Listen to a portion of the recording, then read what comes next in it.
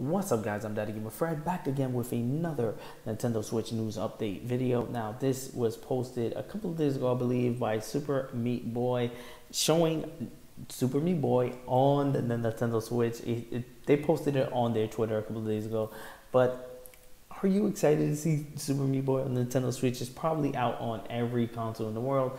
No duh, was coming to Switch. It's kind of not a hard game for the console to run on. It's not, you know, graphically empowered. It's not a big open world. It's just a cool platforming game. Let me know in the comment section below. What are your thoughts on Super Meat Boy coming to Nintendo Switch? I think it's going to be okay. I mean, again, I never played Super Meat Boy. I'm not trying to take anything away from the game. It's just not, it doesn't, I don't know. I, if they drop a demo and I play the demo and I'm excited about the demo, maybe I'll download it but it doesn't look like something I'm gonna be like, yo, we need to go. Everyone needs to go out and get support. It's another port of a great game that everyone's talking about. Yeah, of course, it belongs on the Switch. You could play it at home. You could take it on the on the go.